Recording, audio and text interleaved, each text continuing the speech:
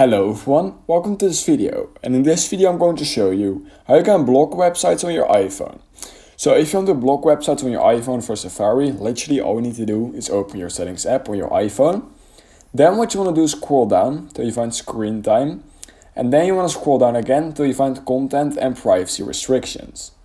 Then you want to make sure that content and privacy restrictions is actually enabled and then you can click on content restrictions.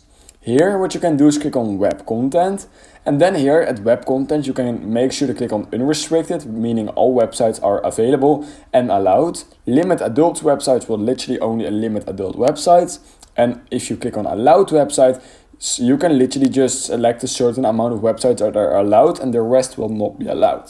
So if you want to limit one website only you need to click on limit adult websites click on never allow add website you can type in whatever website you want and when that person tries to access it, access it over on their Safari, it will not let them. So that's how you can block websites on your iPhone. If you learned something from this video, I would highly appreciate it if you could like this video and subscribe to my channel. And I hope I will see you in my next YouTube tutorial video.